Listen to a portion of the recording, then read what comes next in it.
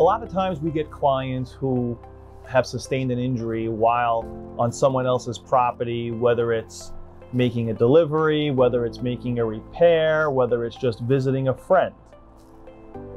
In the event that an incident happens on someone else's property, the most important thing you can do is determine what it is that caused you to fall. Be that a pothole, be that a piece of uh, broken concrete, be that a tree stump that was raised and not maintained by the homeowner. The most important thing that you can do is make sure, if not that day, shortly thereafter, that you're able to actually take a photograph of or otherwise document what it is that exactly caused your fall.